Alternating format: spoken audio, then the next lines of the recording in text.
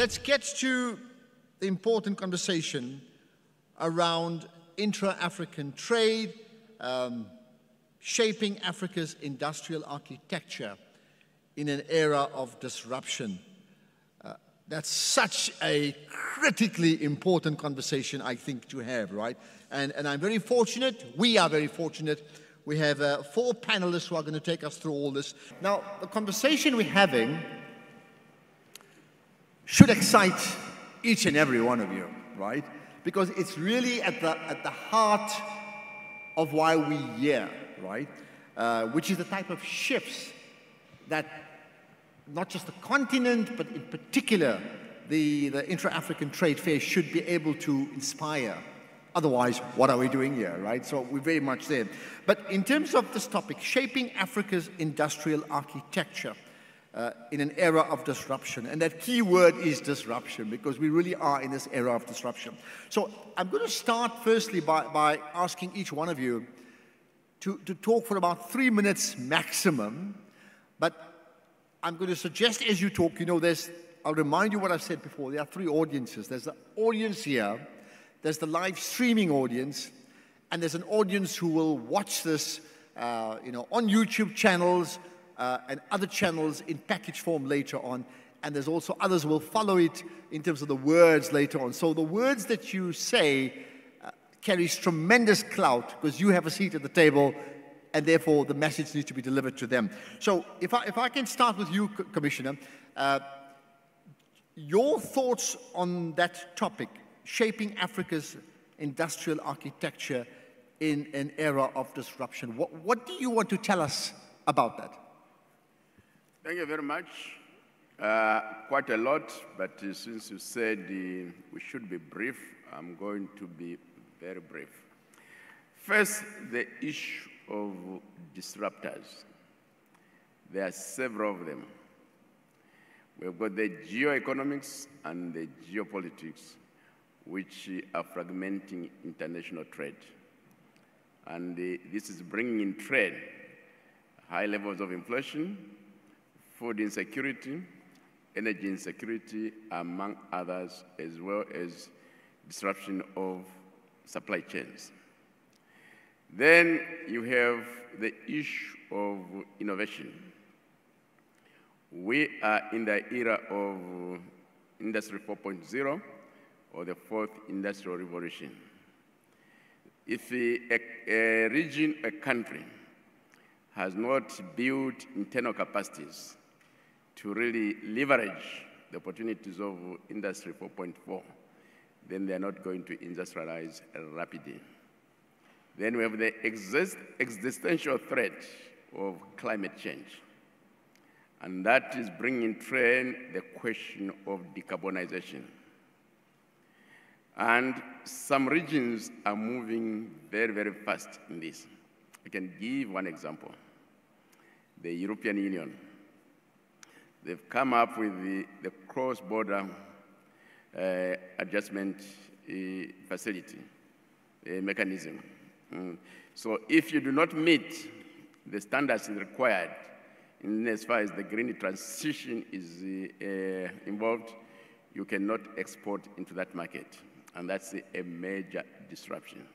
Now, the issue is uh, how do we react? And that's how the uh, intra-African trade uh, uh, um, comes in. We need one large market as a point for recovery, a point for prosperity, and a point for resilience. And in this market, production is the starting point. We need to produce industrial goods of a high quality, very good standards, and uh, which can really meet the needs not just of Africans, but uh, um, uh, consumers across the, the, the, the, world. And this requires development of regional and continental value chains. And to make them distinct, not imitations from other industrial goods being imported from uh, other parts of the world, which actually are going to be dumping. Mm -hmm. You need to invest in, in intermediate uh, production uh, as well as final goods And that brings in a trend development of industrial skills and development of facilities for research and development. And uh, let me indicate the final uh, disruption since we came out of it. And this is the COVID-19 pandemic. Uh, it, it, and the, the reality is that for a long term time, the world is going to face major, major uh, health challenges. And the, the, lesson to Africa is that uh, for us to, uh, to, to, to, to, to survive the future challenges, the pharmaceutical industry must be well developed. Thank you. Okay, thank you. Thank you for that comment, uh, Commissioner of the AU. Let's, let's move on then to uh, Solomon Quaynor um, from the African Development Bank. Okay, you've got three minutes to, to make some seriously important points on this issue. Go ahead. Okay. Uh, I, can you hear me? I can hear you. Okay, yes, no, no. Thank, thank, you, thank you very much, Ashraf. Um, I'll try my best not to re, uh, repeat what His Excellency has already, uh, you know, talked about. I mean, clearly there are, you know, there are near-term disruptions. Uh, the geopolitics, which His Excellency has talked about. Uh, we all know that as a result of COVID, we were bottom of the rung in terms of PPEs and vaccine supply. Uh, you know, the Russian-Ukraine war has disrupted the grain market. We know we have to find ways uh, to ensure that we not only feed Africa, uh, but we even feed the rest of the world. But for me, we've been constantly reshaping because we, we're part of global supply chains as Africa, but we're the bottom part of global supply chains. That is the commodity side. And so even before these near-term disruptions, and, and you know, uh, His Excellency is right, you know, the carbon, you know, the carbon border, you know, adjustment mechanism is actually going to really impact, you know, African exports into Europe. Uh, but yes, we're working on the renewable side. But, you know, we've always had to reshape because we've always been at the bottom of the value chain. And, and, and this, is why, this is why we need to focus really on areas where we competitively produce the raw materials as Africa. I mean, the only exception I do agree with His Excellency is pharma. Yes, we don't produce the APIs uh, yet. We import primarily from, you know, from China and India. But we need to also gradually do that for a minimum security of supply for Africa. But otherwise, we need to focus really in the, you know, the value chains where we are competitive. And so this would include agro-processing. 65% of the remaining arable land in the world is in Africa. We're already even producing reasonably well with the, with the smallholder farmer systems. Now, just imagine if we overlay the fourth industrial revolution on that, you know, agtech, and then we begin to also commercialize, I mean, uh, go into more large-scale commercial farming in, you know, in areas where we're competitive. Uh, you know, we would be able to actually do a lot more in that value chain. So that's why, you know, at the recent Africa Investment Forum, ourselves, Afrexim, Arise, and the Islamic Development Bank signed to be partners of the Alliance for uh, Specialized Agro-Industrial Processing Zones because we really want to address agro-processing and make sure that we, we, we actually, you know, uh, value add in agro-processing and trade amongst, I mean, and supply within Africa. Uh, cotton to textiles to garments, you know, uh, that's a regional value chain. We have several countries in that space. Uh, you know, then we talk about, you know, critical minerals. We produce the critical minerals for the, you know, for the electric vehicle battery supply chain. Why don't we actually value add? Why are we evacuating all of this to other, you know, geopolitical markets that are looking to, you know, create this? We conducted a study with Bloomberg, and it showed that we can actually produce this, uh, Your Excellency, at a third of the cost. Uh, you know, relative to, you know, to the developed markets. So we have to find a way to actually attract, you know, you know, parties in the developed markets to come and partner with us to produce here. But we should take advantage of our own regional value chains. The critical minerals are in DRC, they're in Zambia, but the biggest industrial uh, nation in Africa is, is your country, South Africa. You know, with CSI, CSIR doing the research and development, why don't we really have that full, you know, regional value chain in place in Africa? So, so for us, you know, we believe that we should focus really where we're competitive, take advantage of the fourth industrial revolution, leapfrog in terms of productivity. Yes, there are some challenges in terms of automation, reducing jobs in the labor intensive industry, but it also creates new jobs. I mean, take a look at what I call the kite. The kite is Egypt, Kenya, Nigeria, and South Africa when it comes to the fourth industrial revolution. Our youth are using technology, you know, to actually enable various industries. Let's take advantage of that. Let's even export that in the future. So for me, it's, it's really not shaping the, you know, the, uh, you know, the value chain, uh, but it's, we continue to reshape. And, you know, at the recent Africa Investment Forum, which we held in Marrakesh, actually November 8th through the 10th, and, and this is a forum that our partners, Afrexim, uh, TDB, Africa 50, AFC, and, and several others, you know, have actually come together to create a transactional platform uh, to actually attract global and African, uh, you know, direct investments into these critical uh, sectors.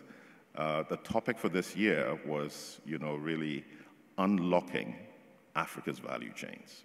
And we were able to actually generate serious interest of about $34 billion in Africa's value chains. You know, the regional corridors, we need to do that so that logistic costs make us competitive. We need to take advantage of urbanization. You know, we're beginning to see, I mean, most of the, uh, in fact, Africa is the, is, is, is the fastest urbanizing continent. Let's take advantage of that to create pockets of demand. So look, uh, we'll, continue to reshape. The opportunities are there. Um, yes, we're not as diversified in that space now, but we have to be deliberate about it. Okay, thank you. And I'm, and I'm sort of hoping that in terms of doing that, that there's a, there's a greater assertiveness about doing that, what you've just said. But we'll, we'll get to that uh, in a moment. Let me bring in the, the third of the, of the panelists, um, Haissam El uh, Maayergi, the newly appointed Executive Vice President of Afrexim uh, Bank. Um, right, you, have heard the others. Uh, you have a strong view on this. I know that. Uh, you've got three minutes. Okay, thank you. I'm not sure if it's uh, okay. working. Yeah. yeah. we can hear you. Thank okay. You. So, so let me put it this way. Um, our organization should be contributing in terms of building capacity and building rails for youth, for investors, for traders, for this jump to happen. And if we want to think about it, we have to have a short-term plan and a long-term plan. Short-term plan is the obvious. If you look at the previous presentation, we are trading at 17% intra-Africa, while the Europeans of the world and the Chinese and the Asians are looking at 70. From 1.7 to 7.0, there is a huge gap that all countries need to be serious about. How are they joining the payment and settlement system Pan-Africa? How are they uh, being part of talking to their customs and easing things because we have a long way to go. There's a lot of practical examples that we really need to um, work hardly on and not just talk about it in terms of every uh, of the um, countries around the continent. This is short term, this will help us in short term, but in the long term, I think we should be obsessed with building youth capacity and building it what enable us to, in the future, when we think about industrialization, we don't yet again go and import machines from outside the continent, experts from outside the continent, so that they can teach us how to go to the next level of production.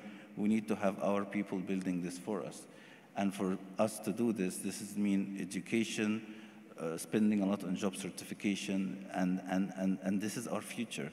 And if you think about it, I would rather have uh, uh, uh an engineering medical college that grad- and invest in this that will graduate people who will do 100 hospitals while I invest in a hospital, but the same investment I can put it and build 100. Same thing of building our factories, of building capacity. So a big, a big part of our focus should be directed into really educating the African young population, which we are the youngest continent on the planet, into creating the real power and also teach them how to start where other ends. We don't need to go through the process that every other content went through. So what is the trend now? It's digitization, it's ESG. We can look at experiences from places like India and China where they build capacity through educating in technology and exporting this manpower to the world in outsourced bases and so on. So a lot of work we done short term in terms of opening borders, in terms of payments, but long term, if we're really serious about changing the history, it's all about building capacity for our youth and their education. And you certainly left us lots to, lots to think about. Thanks for those uh, opening, uh, opening thoughts, right? Let me then uh, bring in um, Sion Leo, who's the group CEO of AFG Holdings, uh, which is, of course, the Atlantic Group. So you got, you got three minutes. Thank you to make a point. Yeah. Thank you very much, uh, Ashra. I, I, will try and make it in English. Uh, okay, for my neighbor to. yes, to, yeah, to go ahead. Thank you. Thank you.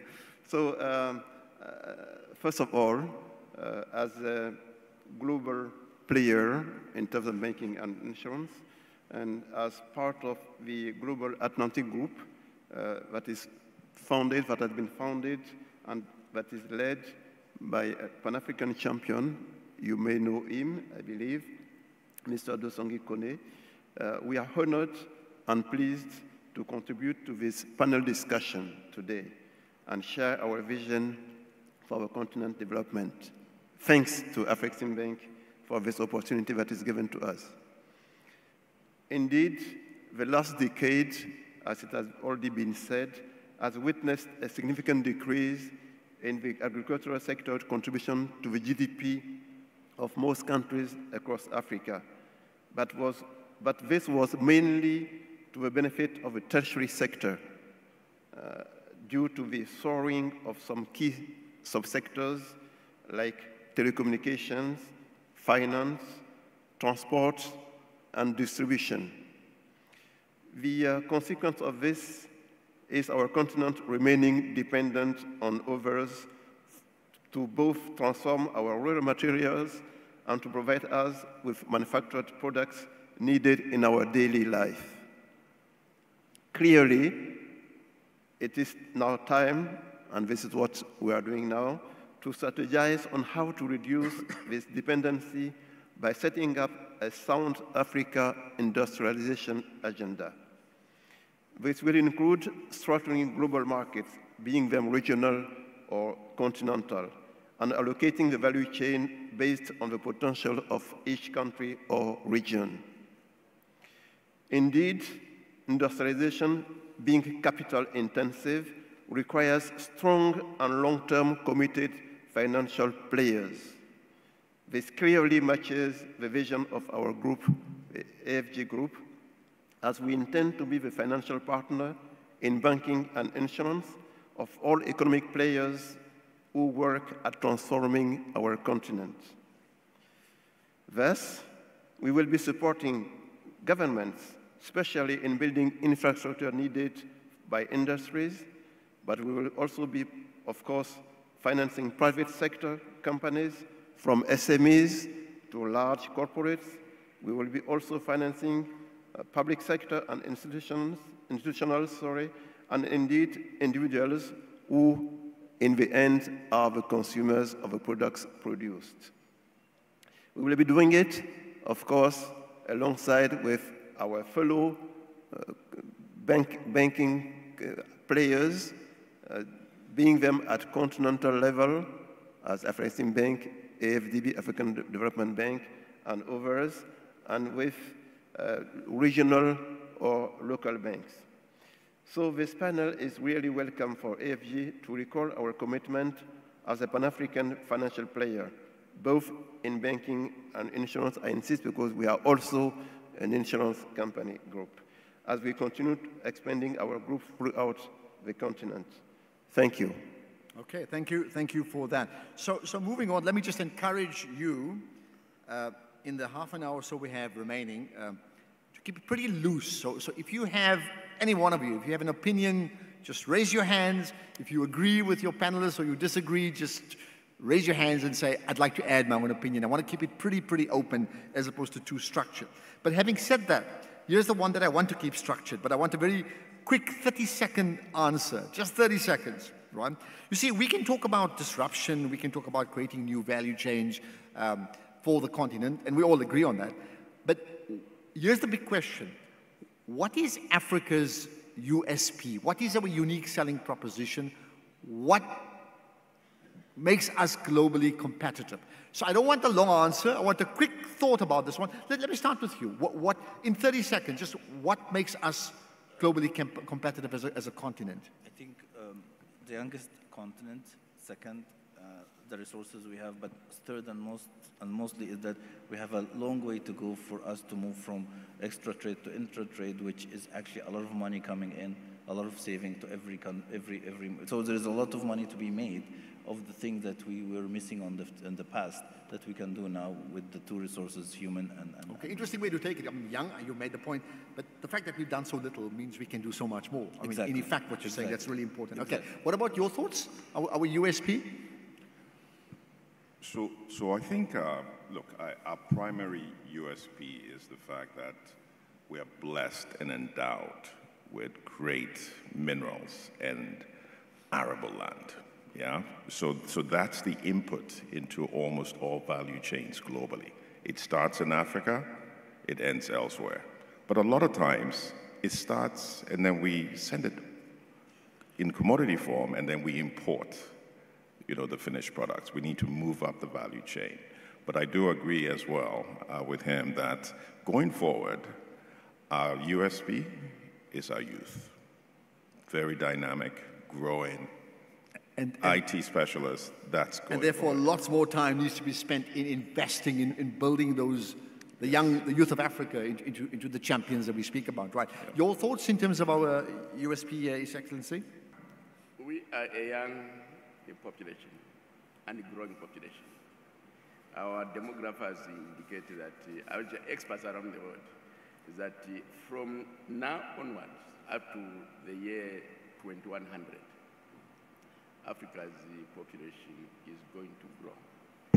And uh, in the invest communicate, in the investment community, he's an investor.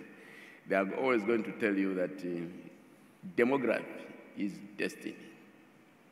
So, the future of Africa in terms of population uh, really is going to be shaped uh, in a very advantageous manner because of uh, being a young population. Number two, in terms of natural resource endowments, we are the richest region in the world. Mm, the richest region in the world. But in terms of economic development, we are the poorest region in the world. To prosper, we need to add value to those resources. There is um, a, a, a, a foundation in India They've made a preliminary estimate of the value of Africa's natural endowments. And their preliminary figure is 193 trillion US dollars. Match that against the, our aggregate GDP of 3.4 trillion US dollars. The opportunity is vast, and we can sell that one. Okay, thank you, thank you for that. Um, and uh, uh, Sione, if you can, just let me know if you can hear me clearly. I asked what, what makes Africa globally competitive? What makes Africa globally, competitive? What, what gives us an edge? Com yeah. com competitive, okay. Yeah. Uh, th thanks, thanks, thank you very much, Ashra. Uh, of course, as um, His Excellency just, just said, Africa is rich uh, for the, via um, uh, demographic dividends, the youth of its population, for its natural resources. We have all this. So what would make us uh, competitive, uh, I believe, is uh, first having vision. Having vision on what we want to be, what we want to become, what we want to do with the resources we have. We have. These resources are so much important. And once we have a vision, uh, we need to have more action more action, it means uh, we, need, we need to be more focused on hard work. Because when you look at Asian countries, they were coming from far, but they were able to deliver very fast in just a span of decades because of hard work, thanks to hard work, vision and hard, hard work. Uh, and then uh, we need to ensure that uh, we, um, let's say, uh, drive the best from our population. how do we educate our people? Our population is growing fast, but it needs to be educated, well educated. So what is the system we put in place? But all this is about vision. If you have a vision, if you have a clear strategy to reach your ambitions, if you have, you give yourself the means to it is possible. So but, we, but, but do we, do we, do we have a vision? uh, and I believe, sorry? Yeah, do we, do we have a vision? Well, uh, I mean, uh, when you look at what is happening currently on, uh, on our continent, you, you see that vision is not enough there.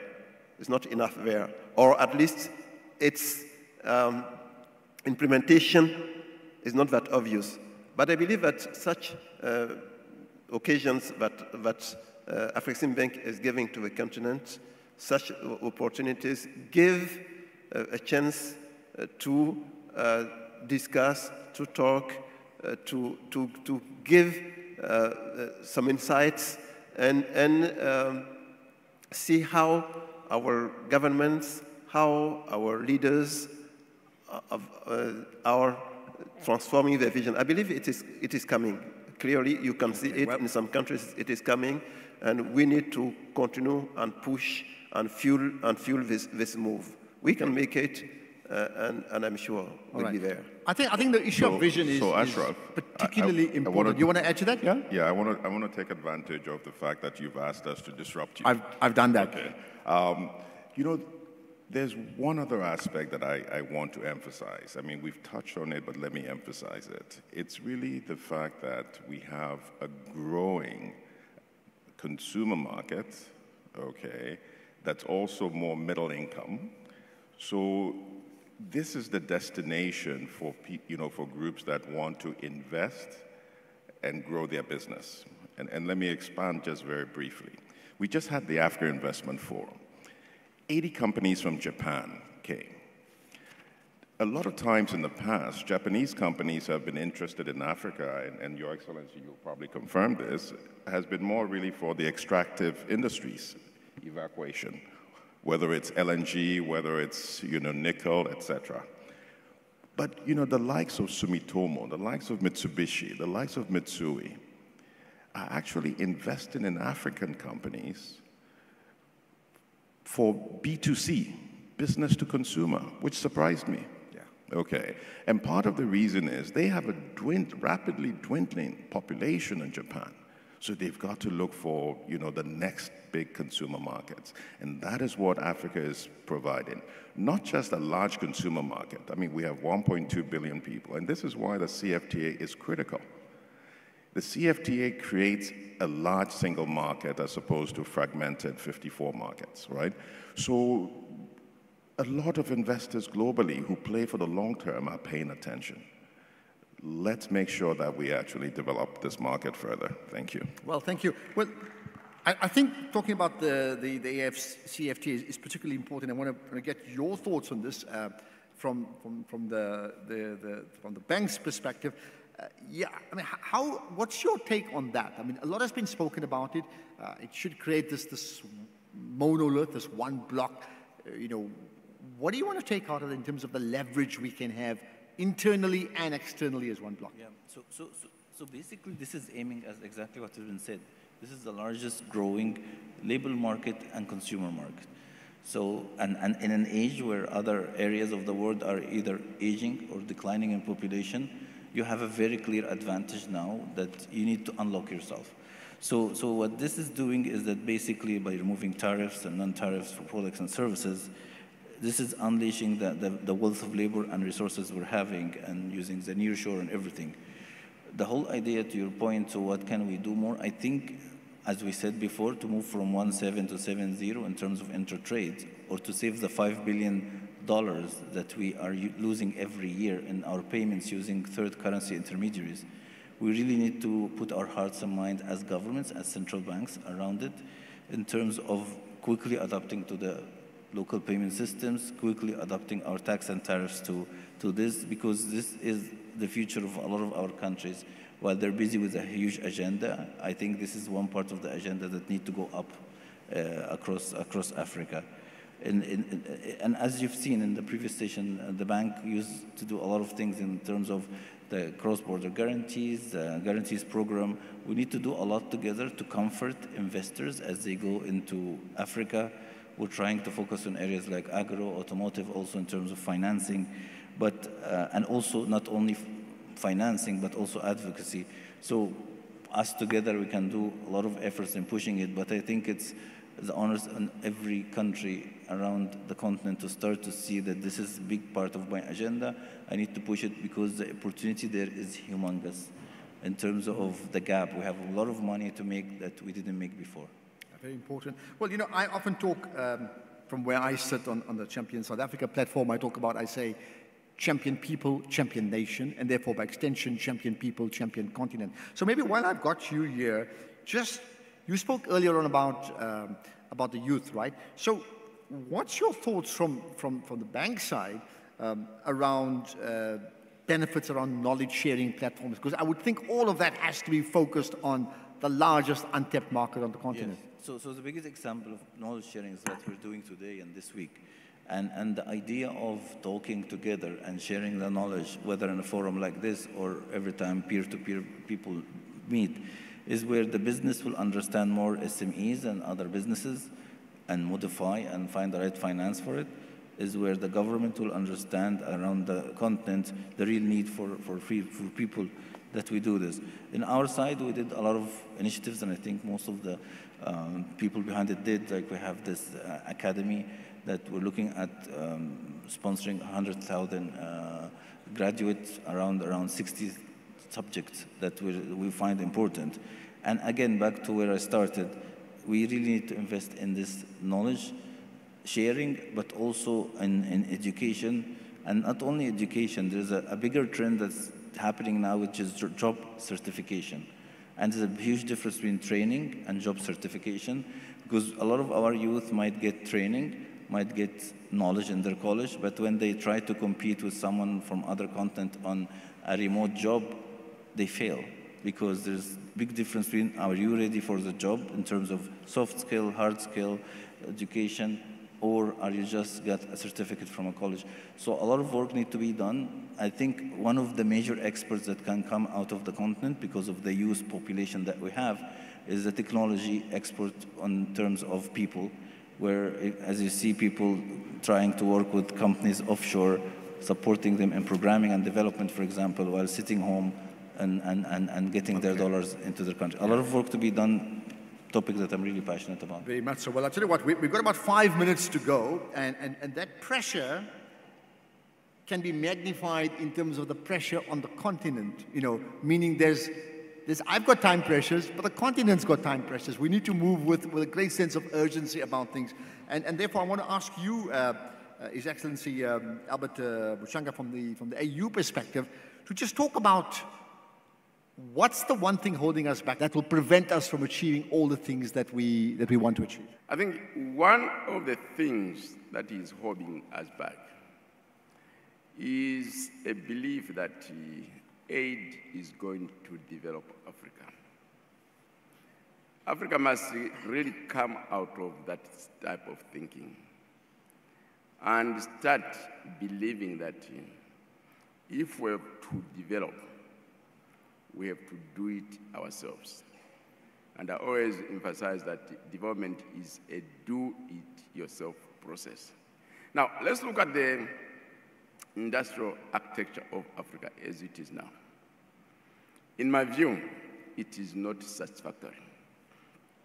Why? It's anchored on imitation. And that imitation is reflected is that quite a number of uh, African industrial activities are anchored on the global value chain. And Africa is at the end of the global value chain. The marketing, the industrial design, the branding, even the leadership is done outside Africa. So when it comes now to appropriation of value from an industrial activity, we get very, very, very little. To come out of that, we need to start investing in internal capabilities. First and foremost, development of industrial skills across the Africa. We need trained factory workers, supervisors, factory managers, factory directors. We need people trained in research and development. And it takes some time. And it's for this reason that we at the African Union have been advocating for the establishment of an, an African Manufacturing Institute. Because without that, it's very, very, very difficult to really do something. I can give you an example. A Chinese company in, uh, a, a company in China is able to supply iPhones on behalf of uh, the owner of the technology throughout the world. Now, let me ask a very simple question. As we are talking now, which African factory can fully supply the market of the African continental free trade area of 1.4 billion people? If you go in a shop, you say it's made in country X, and you find it in all the African Union member states. Which African factor can do that? There's none. Mm -hmm. So we have not invested in scale. Well, uh, so there, those are some of the challenges that we face. And we need to resolve it. Well, there you are. A lot needs to change. I mean, I, if, if I can just, uh, we're going to wrap up now in two minutes or so. Uh, Sionle, if I can bring you in on this one, and I want to use a football example, uh, soccer, football. If you, you know, if Africa is the attacking players, if we, we the number 10, the playmakers trying to make things happen, we're up against a team of defenders who don't want us to score goals, right? I mean, why I'm asking that question is which economic bloc that may even talk about collaboration and, and co-creation, I'm not talking of Africa outside, which ones are, are going to open the, the way for us willingly, or do we have to find another way to score the goal? The, the image uh, uh, is a very good one uh, about football uh, and how we can strategize and score a goal while defenders are looking at preventing us to do so, uh, of course. Um, I believe uh, His, Excellency, His Excellency has said almost everything already. He said we need to train our champions. We need to find our own way of playing the game, not playing with the roles of others. We need to, to do less imitation, and we must not be counting on others to support us to get there. It is on our own that we will make it. And I, I, think all has been said uh, in, in, this. So if we want uh, to be able to uh, win uh, and, and to, to, score a, a goal uh, despite the strength of the defense we, ha we, have, we have to face, uh, I believe we, we, as I said, we need this vision and we need this uh, appropriation, this ownership. We need this, this, ownership. And I believe that some tools like uh, the EFCFT, you say in English, AfCFTA, uh, are vision tools because it starts changing the rules of the game because Absolutely. we define our own roles. Yeah. We say now Africa needs to be able to, to be in, more integrated. We need to be more integrated.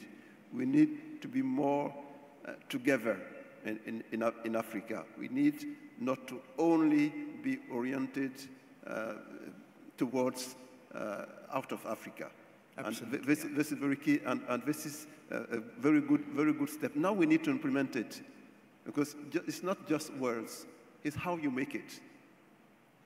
Uh, and, and, and, I said uh, it means uh, focusing on implementation and it means hard work. Nothing will come overnight. You will have to work and build it. We need champions, African champions. We need not only to direct us, to show the way, but also to be able to coordinate and create this uh, ownership of value chains that we can spread across regions, across the, across the continent. Very important. Thank you for that. And therein lies the challenge. I mean, the value chain is obvious, to use the football example again.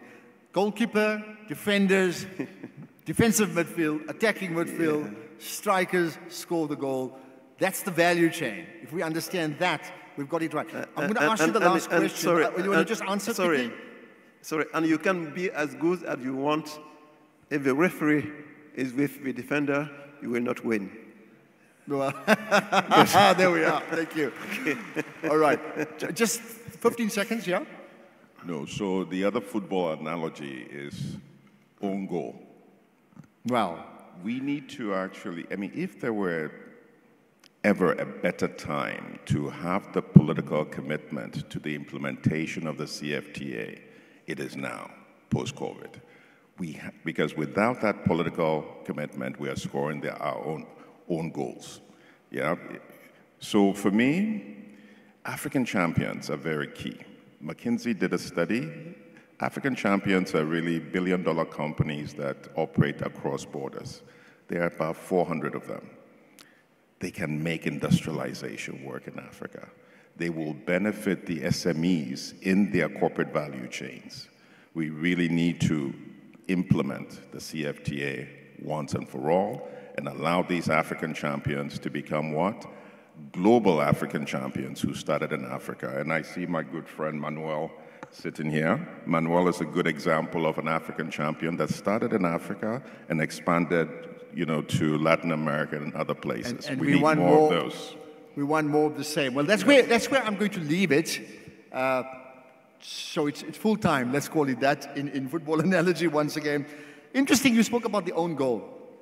Uh, just, just yesterday, I think Paul Kagame from Rwanda said, and I'm going to quote him if the owners of the natural resources go around begging, then you should know there's something wrong with our minds. If the owners of the natural resources go around begging, then you should know there's something wrong with their minds. And that's a massive challenge that we all need to wrap up with. But I'll end with the flip side of that. And again, another sporting example. South Africa's rugby team has just won the World Cup, right? And, and the captain of the team, Siya Kolisi, comes from one of the most impoverished regions in our country, with one of the most impoverished backgrounds, to not just lead a team, but in my opinion, to be seen as probably one of the great sporting captains in the world in all sports. And I really do follow sport, right? And they premised their winning campaign on a campaign called Stronger Together.